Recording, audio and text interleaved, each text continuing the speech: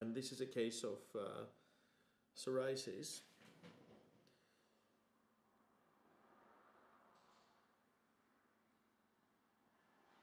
You can see the lesions here and the changes on the dermis. And here is the healthy skin. Thankfully, it affects an area on his back rather than the front. Patient is well acquainted with it and he undergoes a variety of treatments.